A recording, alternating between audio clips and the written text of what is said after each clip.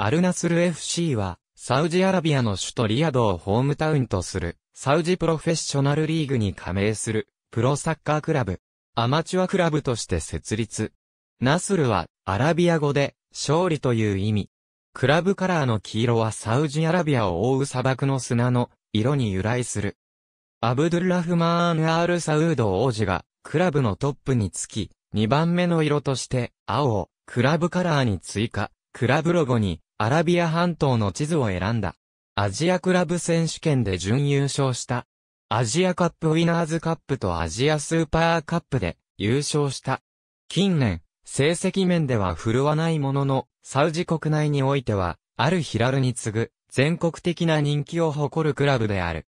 同じリアドに本拠を置くアル・ヒラルとの対戦は、リアドダービーとして、時に、サウジ代表の国際試合をもしのぐ盛り上がりを見せる、こともある。過去には、サウジアラビアの伝説的ストライカーであるマジェド、アブドゥラーが所属していた。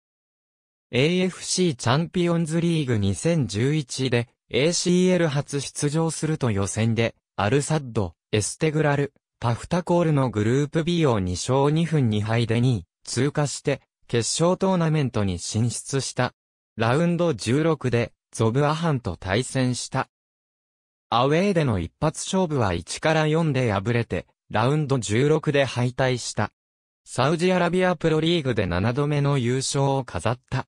AFC チャンピオンズリーグ2015の出場権を獲得した。AFC アジアカップ2015に、アルナスルからは、サウジアラビア代表として4人、バーレーン代表として1人選出された。